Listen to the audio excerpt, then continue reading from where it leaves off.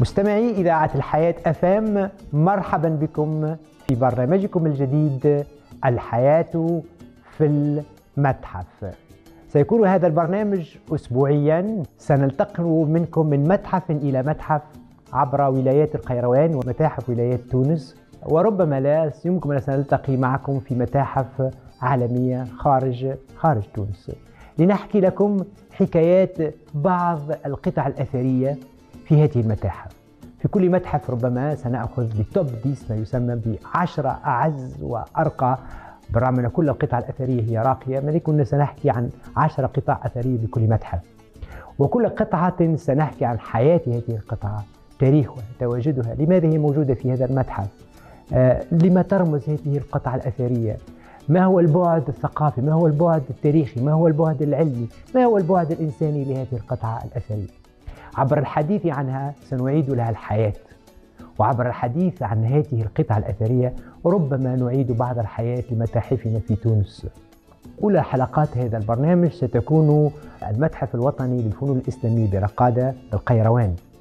سنكتشف في هذا المتحف عشرة قطع أثرية. سيحكي لنا أستاذنا الجميل الرائع الأستاذ زهير الشهيبي محافظ هذا المتحف. سيحكي لنا عن قصص هذه القطع الأثرية ولا تنسوا أن تتابعوننا في حلقاتنا هذه الشيقة التي ستأتي لكم عبر إذاعات الحياة أفام كل أسبوع. فكونوا في الموعد. أستاذنا سي زهير الشهيبي محافظ المتحف الوطني للفنون الإسلامية برقادة. مرحبا بك في الحلقة الأولى من برنامجنا الحياة في المتحف. آه، قبل ما نلتقي اليوم مع قبل ما نعطيك الكلمة أستاذنا نتمنى لو تعطينا صورة هكا لو عاجلة وربيد كما نقولوا حول هذا المتحف بصفة إجمالية. مرحبا بكم مرحبا بمستمعي إذاعة الحياة أفام. في هذه الحلقة نقدم لكم المتحف الوطني للفنون الإسلامية رقادة هذا المتحف اللي في الأصل تعمل في إقامة رئاسية في وتم تدشينه في 14 نوفمبر 1986 آه، وهالإقامة الرئاسية هذه تعود إلى آخر الستينات من القرن الماضي. وتبعد حوالي 10 كيلومتر عن مدينة القيروان جنوب غرب القيروان. والمتحف هذايا حمل الاسم آه، المتحف الوطني للفنون الإسلامية رقادة القيروان. هو في طرف الجنوبي للموقع الأثري رقادة. ويحتوي هالمتحف هذايا على بناية اللي هي بناية من طابقين وحديقة. والمتحف هذايا داخله تعرض القطاع الأثرية وقد قسم إلى سبع قاعات. فالقاعة الأولى هي قاعة الخشب وفي معظم القطاع هي قطاع متأتية مأتاها آه، بيت الصلاة جامع عقبة بن نافع. البي... القاعة الثانية خصصت للفخار والخزف والبلور. ومأتى أغلب القطاع كما نعرف المدن الأميرية حول القروان اللي هما خاصة رقادة وصبرة المنصورية. وقال لي لنا نحكيه على العهد الأغلبي والفاطمي وخاصة العهد الزيري. القاعة اللي خصصت لي آه، هو عبارة على رواق. القاعة الثالثة خصص لشيء نادر اللي هو نحكيه على الفسيفساء الإسلامية. إحنا نعرف أنه تونس تحت المرتبه الأولى في عدد لوحات الفسيفساء الرومانية والبيزنطية في العالم. ولكن الطريف في هذا المتحف وأنه يحوي قطاع اسلاميا لأنه الفاطميين أعادوا إحياء هذا الفن. آه، أيضا بعد القاعه هذه يجي رواق النقاش النقاش وخاصة النقاش الجنائزية نعني بها شواهد القبور اللي مأتاها أقدم مقبرة إسلامية في تونس اللي هي مقبرة قريش اللي حاليا هي المقبرة الرئيسية لمدينة القيروان.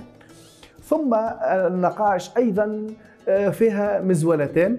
المزولة الفاطمية وهي أقدم مزولة عربية إسلامية في تونس حاليا.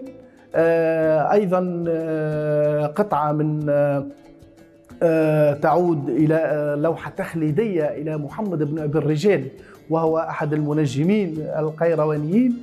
القاعة مفخرة هذا المتحف هي قاعة المخطوطات القاعة هذه اللي تضم نفائس المخطوطات القيروانية وخاصة ضمت مجموعة المكتبة العتيقة وهي تقريبا أقدم وأكبر مجموعة حاليا من المخطوطات ويعود أقدم مخطوط فيها إلى القرن الثاني للهجرة.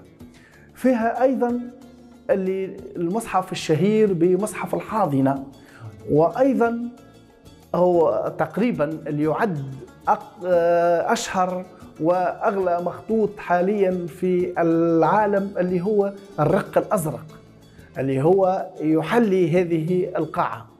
بعد قاعة المخطوطات آه، ندخل إلى قاعة البرونزيات. قاعة البرونزيات هذه فيها آه، أشياء من البرونز قطع أثرية من البرونز مثل مشكاة المعز بن باديس مثل الأدوات الطبية آه، مثل الأختام إلى غير ذلك. ثم آخر قاعات هذا المتحف قاعة العملة. والعملة آه، تتراوح بين العملة الذهبية والفضية والبرونزية أو النحاسية وتقريبا تمتد على كامل الفترات العربية الإسلامية منذ عهد الولاة إلى آه، الفترة العثمانية. وكما الإشارة أن هذا المتحف منذ سنوات قليلة بعث فيه قسم بيداغوجي آه، حيث تجرى فيه الأنشطة الثقافية والتربوية خاصة الموجهة للطفل وللتلاميذ والطلبة خاصة. شكرا أستاذنا سي زهير على هذا التقديم لهذا المتحف الجميل. وفي هذا المتحف لاحظت أن هناك ربط بين الماضي وكذلك بين الحاضر العرض وكذلك المستقبل عبر هذا الورشة ورشة العمل اللي تعمل فيها في المتحف. هذا جميل جدا. وكذلك أعطيتنا فكرة توا تقريبا بدينا نحسوا شنو ما ال top 10 تاع اللي مش نقدموه التحف اللي مش يتقدموا عبر هذا البرنامج. مستمعي إذاعة الحياة FM مرحبا بكم في برنامجكم الجديد الحياة في المتحف. هذه الحلقة الأولى. سنكتشف القطعة الأولى لهذا البرنامج وهي وهي مشكاة المعز بن باديس. مستمعي إذاعة الحياة FM انطلقنا الآن في القاعة الأولى وهي قاعة البرونز أو قاعة ما تسمى بقاعة القبة.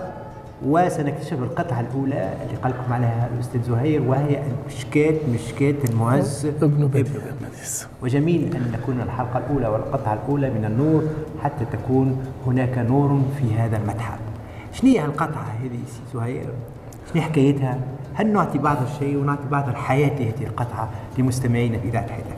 القطعة اليوم اللي قدامنا هي مشكاة المعز بن باديس إيش معناتها مشكاة مشكاة اولا قد هي الثريا نتاع اليوم. هي الثريا اللي تضوي. هل المشكاة هذه بما أنها قلنا تضوي؟ وين؟ مبدأ وين كانت موجودة؟ وين كانت موجودة؟ كانت موجودة في بيت صلاة الجامع الأعظم جامع عقبة بن نافع. وهي نسبة إلى المعز بن باديس لأنه أمر بصنعها المعز بن باديس. هو رابع الأمراء الزيريين هالمشكات هذه صنعت من البرونز. البرونز هو معدن قوي جدا. معدن هو عبارة على تركيبته وأنه 90% من النحاس و10% من القصدير. وهذه هالمشكات هذه جات في آه، أحجامها حجمها 118 سنتيمتر طولها والقطر نتاع العرض نتاعها 51 فاصل ونص سنتيمتر. المشكات هذه ما جاتش هي تستعمل كمشكات كهو للإضاءة في جامع عقبة بن نافع. المشكات هذه فيها فن آخر. زادها جمالية اللي هو فن الخط العربي. المسكات هذه اللي يلاحظ بالكدا مش يشوفك ثقب القبة ذمك الموجودين هما عبارة على أشرطة كتابية. الأشرطة الكتابية هذه كي تتحط في وسطها الضوء للإنارة اللي هي مش تكون آه، شموع وإلا ما يعرف بالفتيلة آه، كيفاش مش مش يصير. مش يصير وإني مش تعكس الضوء على الجدران نتاع الجامع نتاع بيت الصلاه وبالتالي تظهر الكتيبة مكتوبة على الحيوط اللي هي الكتيبة اللي فيها آه، أدعية للمعز اللي يصلي واللي يهز رأسه للحيوط يقرأ يقرأ يدعي للمعز. المعز ربح حاجتين ربح وأنه الناس تدعي له مع آليا اللي يقرأ يدعي له وربح وأنه عمل الأجر. والصناعه هذه باش تضوي جامع عقبة بن نافع. وأيضا في الأسفل نوجد صانعها. كأني أكل الصانع الحرفي اللي خلى اسمه اللي هو محمد بن علي القيسي الصفار اللي هو صنع القطعة هذه وماهوش غريب معناتها على القيروان اللي هي كانت مشعة في الصناعات الكل في تقريبا في الفنون الكل. وما هيش المشكات هذه الوحيدة اللي موجودة ولكن إن كانت هذه أشهرها فما وحدات أخرين فما مشاكل أخرين موجودين في آه، كانوا يضويوا الجامع الكبير. وأيضا فما وحدات أخرين اسمهم الأطباق البرونزية اللي كانت تضوي وعلى على الشكل هذيك. علاش تعتبر قطعة أثرية؟ علاش سميوها قطعة أثرية؟ قطعة أثرية على خاطرها أولا يفوت آه، عمرها ل 100 سنة وثانيا هي لأنها تأرخ إلى آه، فترة أو حقبة تاريخية معينة وارتباطها بشخصية تاريخية أثرت في التاريخ والقيرواني خاصة وتاريخ شمال إفريقيا اللي هو المعز ابن باديس donc خذيت القيمة الكبيرة اللي آه، بها. وهي كما قلنا حطيناها في المتحف. جبنا تجابت من بيت الصلاة تاع جامع عقبة بن نافع وتحطت في المتحف. نظرا للقيمة هذه نتاعها واللي ندرتها لأنها ما كيفيهش برشا في العالم. وخاصة خاصة في ما تميزت به من الكتابات. كما مكتوب الحمد لله السعادة واليمن والبركة. وأيضا مكتوب آه اسم آه السيد اللي آه صنعها آه محمد بن علي بن قيس صفار لشكون؟ للمعز. المشكات هذه خذت القيمة متاعها والتفرد نتاعها واعتبرناها قطعة فريدة. قداش من مرة خرجت إلى معارض دولية وحتى في آه، متحف باردو أيضا خرجت وعرضت وعادت إلى مكانها بالمتحف الوطني للفنون الإسلامية رقادة.